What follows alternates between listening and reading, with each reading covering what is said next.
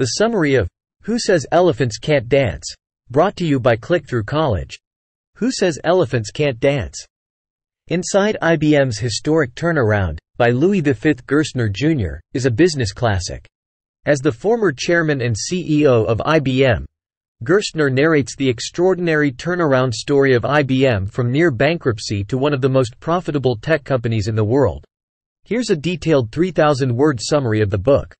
Grabbing Hold of the Elephant.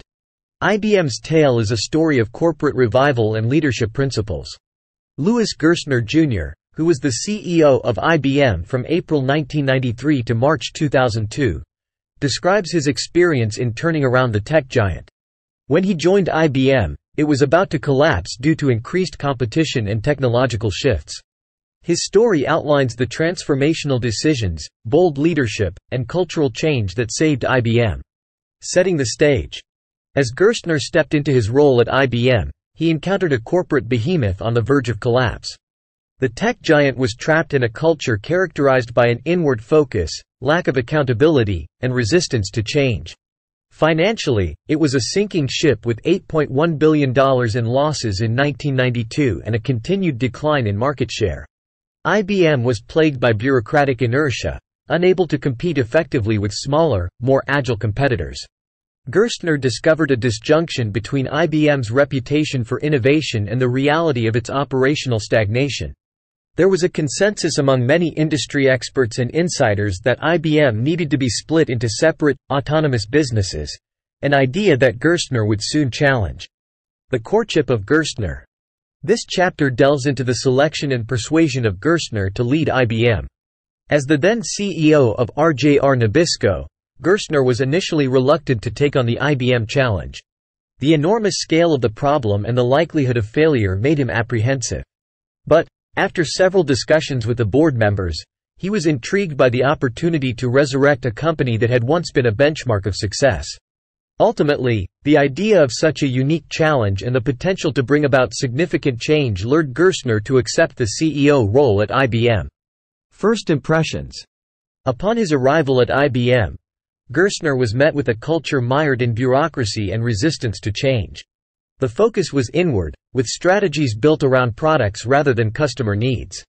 Employees were engrossed in internal matters and corporate politics, often losing sight of the market landscape and customer requirements. The company's decline was exacerbated by an adherence to outdated practices and a belief in the invincibility of the IBM brand. Gerstner immediately recognized these flaws as key obstacles to be addressed in his mission to rescue IBM. Strategy and structure. Gerstner challenges the prevalent notion that reorganizing structure comes before reshaping strategy. He argues that structural changes are futile if they do not align with a well-defined strategy. He disagreed with the popular proposition of breaking IBM into smaller, independent companies, often referred to as baby blues. Recognizing that customers sought integrated solutions rather than individual products, Gerstner believed IBM's competitive advantage lay in its ability to provide holistic solutions. This conviction would guide his strategic decisions in the coming years, laying the groundwork for IBM's eventual turnaround. The fight to stay alive. This chapter highlights the severity of the crisis at IBM and the aggressive measures Gerstner implemented in the early stages of his tenure. The company was hemorrhaging money, teetering on the edge of bankruptcy. Immediate and drastic cost-cutting measures were essential, along with the restructuring of the sales organization to drive revenue growth. Gerstner steered IBM towards more profitable business areas, focusing less on hardware and more on software and services. Simultaneously, he emphasized putting customers at the center of the business model, recognizing that this focus was vital for the company's survival and eventual revival. Changing the culture. Gerstner understood that the inward-facing, self-preserving culture at IBM was a significant barrier to change and progress. To transform the company, he had to reshape the ingrained corporate culture. His initiatives involved promoting and rewarding behavior that was customer-centric and business-driven. Gerstner also aimed to dismantle the bureaucracy and foster a sense of urgency within IBM. He worked to instill an external market perspective in employees, making them aware of the need to deliver what customers wanted, not just what IBM was accustomed to providing. Developing a strategy. Having stabilized IBM's immediate financial crisis, Gerstner shifted focus to developing a long-term strategy. This strategy was built around the customer, diverging from IBM's traditional product-centric model. Gerstner believed that the path to success lay in understanding customer needs and providing comprehensive solutions rather than standalone products. This involved aligning IBM's vast resources and capabilities to deliver solutions that addressed customers' business challenges. This shift in strategy played a crucial role in IBM's transformation into a market-driven, customer-oriented organization. Building the team. Gerstner believed that a capable and committed team was fundamental to IBM's success. He emphasized the importance of having the right people in the right roles, dedicated to the company's new vision and strategy. In his quest to build this team, Gerstner looked beyond IBM's traditional talent pool, bringing in individuals with different skills and perspectives. He nurtured a culture of accountability and performance, expecting team members to deliver results in their respective roles. Gerstner's efforts to assemble a strong, diverse team marked a critical step in driving IBM's turnaround. Reorganizing the portfolio.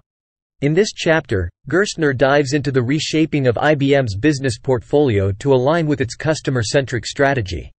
Gerstner was not averse to making difficult decisions, such as divesting from non-core businesses, acquiring new ones, and entering into strategic alliances. Gerstner pushed IBM to focus on high-growth areas, notably software and services, sectors where IBM had been weak. His decisions, particularly the acquisition of PwC Consulting, added significant value to IBM's portfolio, allowing the company to offer a more extensive range of integrated solutions that met the evolving needs of its customers. Managing for productivity. Gerstner acknowledged the importance of operational efficiency and productivity in securing IBM's survival and eventual success. He worked on streamlining the company's operations, making them leaner and more effective. Gerstner initiated measures to improve efficiency across the board, optimize cost structures, and extract maximum value from every dollar spent. He believed that this increased productivity was fundamental in improving IBM's financial performance and competitive positioning. The e-business strategy. Recognizing the potential of the Internet to reshape business operations globally, Gerstner developed a strategy to position IBM as a leader in the digital transformation wave. He envisaged IBM as the go-to company for businesses looking to move their operations online, offering them integrated end-to-end solutions. By capitalizing on the dot-com boom, Gerstner successfully positioned IBM at the forefront of the e-business revolution, paving the way for a significant new revenue stream and reinforcing IBM's industry leadership. How it all came together. This chapter ties together the various strategic, operational, and cultural changes that Gerstner implemented throughout his tenure. The integration of these changes marked a pivotal point in IBM's turnaround. The shift from a product-centric to a customer-centric strategy, coupled with a relentless focus on execution and productivity, culminated in a phenomenal financial turnaround.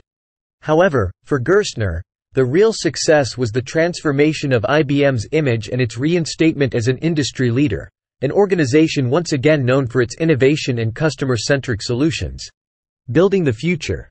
Having successfully turned around IBM, Gerstner shifted his focus to ensuring the company's future growth. He knew that the tech industry was characterized by constant change and that IBM needed to stay at the forefront of technological advancements to retain its leadership position. Gerstner emphasized the importance of continuous innovation and diversification, encouraging investments in emerging technologies such as AI and cloud computing. He also promoted the strengthening of IBM's service business, recognizing the increasing importance of technology services. Gerstner's vision was for IBM to continue evolving and growing by staying in sync with the market's ever-changing needs and preferences. The Lessons of History in this chapter, Gerstner reflects on the key lessons learned from the IBM turnaround. He emphasizes the importance of a customer-focused strategy, strong leadership in managing change, and the value of a diversified portfolio. He underscores that culture plays a significant role in an organization's success.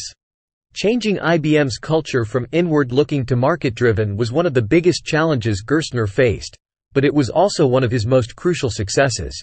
Moreover, Gerstner highlights the importance of adapting to technological trends, arguing that IBM's future success will rely on its ability to continually innovate in the face of technological advancements. Beyond the Elephant Dance. In the concluding chapter, Gerstner reflects on his time at IBM and its future. He stresses the importance of continuous innovation and the need to maintain a strong customer focus.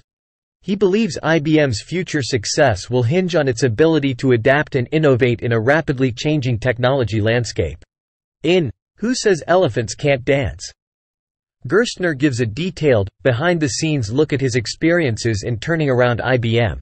His decisions, based on his beliefs and principles about leadership, strategy, customer focus, and corporate culture, played a significant role in transforming IBM from a company on the verge of collapse to one of the most successful tech companies in the world. The summary of Who Says Elephants Can't Dance? by Click Through College